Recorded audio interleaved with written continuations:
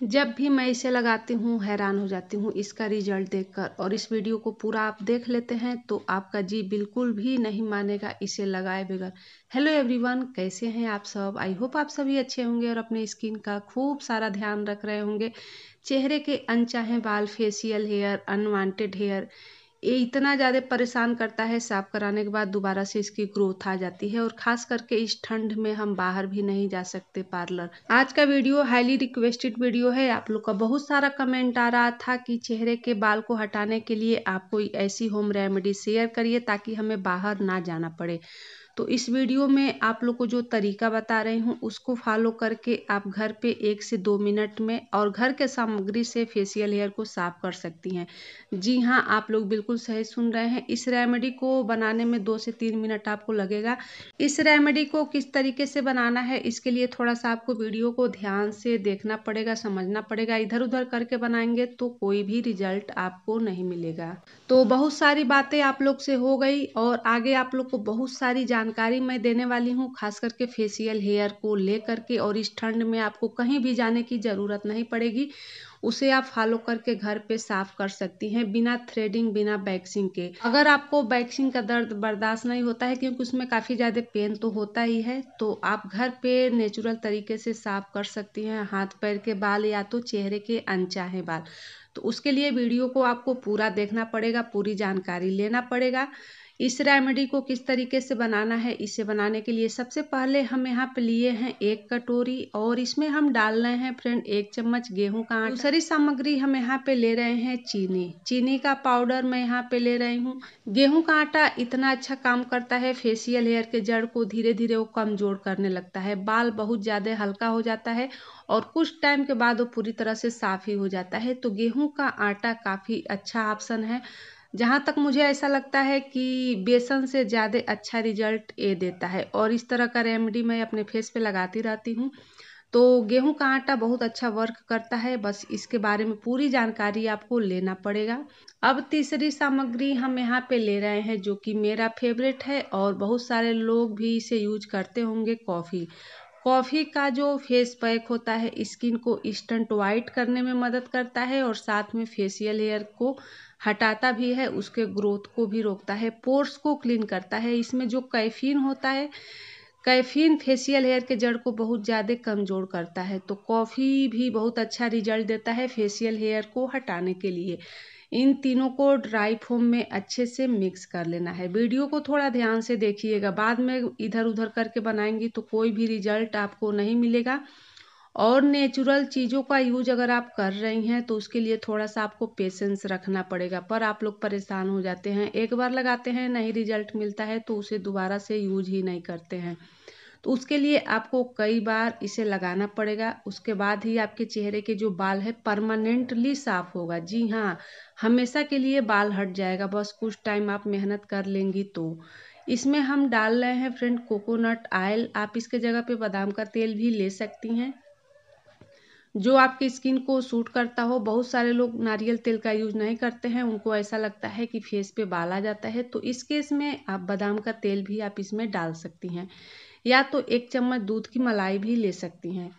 अब इसमें हम ऐड कर रहे हैं कच्चा दूध, यानी कि रॉ मिल्क ज़्यादा मत डाल दीजिएगा, जैसे कि आप लोग देख सकते हैं कि थोड़ा सा ये पतला हो गया है मिल्क ज़्यादा पड़ गया है तो ये गलती आप मत करिएगा।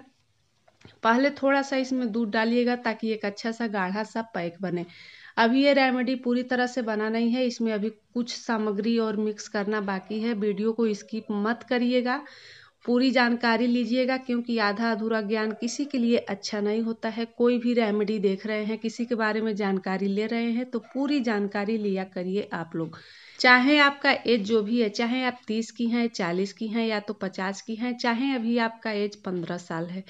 इसे आप अपने फेस पे लगा सकती हैं, ठीक है? और आल स्किन टाइप वाले भी लगा सकते हैं। हर कोई इस रेमेडी को अपने फेस पे लगा सकता है। बस थोड़ा सा आपको तरीका चेंज करना पड़ेगा। उसके लिए मैं आगे आप लोग को बताऊँगी कि अगर आपका स्किन ड्राई है तो आप इसमें क्या और मिक्स कर सकते हैं। और आयली है तो किस तरीके से लगा सकते हैं? इसे रिमूव करने पर थोड़ा सा ध्यान आपको देना पड़ेगा कि किस तरीके से निकालना है तो चलिए वीडियो को देख लेते हैं। इसे लगाने से पहले अपने फेस को अच्छे से क्लीन कर लीजिएगा। अभी मैं जस्ट फेस वॉश करके ही आई हूँ। फेस आपका क्लीन रहेगा तो ये काफ़ी अच्छा रिज़ल्ट देगा। इसे हमें पूरे फेस पे लगा लेना है। देखिए, अगर आपके पूरे चेहरे पे बाल है या ना है, पूरे चेहरे पे लगा लीजिएगा क्योंकि इसमें कॉफ़ी है और कॉफ़ी स्किन को ब्राइट करने का काम करता है। और इस टाइम जो ठंड है, ठंड का मौसम है स्किन काला दिखता है। हर किसी के साथ है प्रॉब्लम होता है विंटर में स्किन काला दिखने लगता है डार्क हो जाता है। तो पूरे चेहरे पे आपको इसे लगाना है। हम महिलाओं के पूरे फेस पे बाल होता है हल्का फुल्का जो रोआ होता है, पूरे चेहरे पे होता है। और जो दाढ़ी मूछ होता है, वो तो काफ़ी ज़्यादा घना होता है, काला होता है तो पता चलता है, लेकिन पूरे चेहरे पे बाल की समस्या होती है। घर के सामग्री से अगर आप फेशियल हेयर को हटाएँगी तो आपकी स्किन को नुकसान भी नहीं करेगा और बड़े ही आराम से हट भी जाएगा बाल। स्किन बिल्कुल भी डार्क नहीं होगा। इसे अच्छे से पूरे चेहरे पे लगा लेना है, लगाकर। इसे हमें छोड़ देना है, जब तक कि ये मतलब कि 80 से 90 परसेंट सूख न जाए। इसमें हम चीनी डाले थे, प्लस गेहूँ का आटा है। ये पूरी तरह से स्किन पे चिपक जाएगा। और इसे किस तरीके से निकालना है, मसाज करके निकालना है कि क्लीन करना है, पूरी जानकारी आगे आपको वीडियो में मिलेगी। कहीं जाइएगा मत, पूरी जानकारी आप ले लीजिएगा। इसे लगा करके आप जब छोड़ेंगे 15 से 20 मिनट के लिए तो 80 से 90 परसेंट सूख जाएगा। इसे हमें ड्राई कर लेना है, उसके बाद से क्लीन कर लेना है। आप कोई भी कॉटन की हैंकी ले सकते हैं या तो कोई भी कपड़ा ले सकते हैं। और इस तरीके से बालों के अपोजिट डायरेक्शन में आपको क्लीन करना है मसाज करेंगे तो निकलेगा नहीं, ठीक है? क्योंकि ये काफ़ी ज़्यादा स्टिकी हो गया है, इसमें चीनी है प्लस गेहूँ का आटा है तो मसाज करने पे नहीं निकलेगा। तो इस तरीके से हैंकी की सहायता से आपको बालों के अपोजिट डायरेक्शन में साफ़ करना है। आपके चेहरे पे जो बालों की डायरेक्शन होगा, उसी तरीके से क्लीन करिएगा, क्योंकि हर किसी के चेहरे पे जो बालों का डायरेक्शन होता है, थोड़ा सा अलग होता है। ठीक है जी? तो आई होप आप लोग को ये वीडियो पसंद आई होगी, अच्छी लगी होगी। इस तरीके से अच्छे से क्लीन कर लीजिएगा और फेस को ठंडे पानी से धुल करके आप कोई भी अपना फेवरेट मॉइस्चराइज़र लगा सकते हैं या तो आप बर्फ़ का भी यूज़ कर सकते हैं। एक बार में बहुत अच्छा रिज़ल्ट आपको देगा। बस सही तरीके से जो तरीका आप लोग को बताई हूँ वो फॉलो करिएगा। एक बार में काफ़ी सारा बाल हट जाएगा।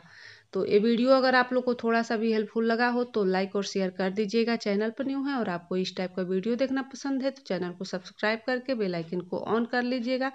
नेक्स्ट वीडियो किस टॉपिक पर देखना चाहते हैं कमेंट करके ज़रूर बताइएगा। इस चैनल पर आपको इसी तरह का वीडियो रेगुलर बेस पे देखने को मिलेगा। तो न्यू है तो सब्सक्राइब करते हुए जाइएगा। आप लोग देख सकते हैं रिज़ल्ट। स्किन कितना साफ़ दिख रहा है। हाईली रिक्वेस्ट कर रही हूँ कि ट्राई ज़रूर करिएगा और अपना फीडबैक कमेंट बॉक्स में देना मत भूलिएगा। मैं आप लोग से मिलती हूँ नेक्स्ट वीडियो में। तब तक के लिए बाय बाय।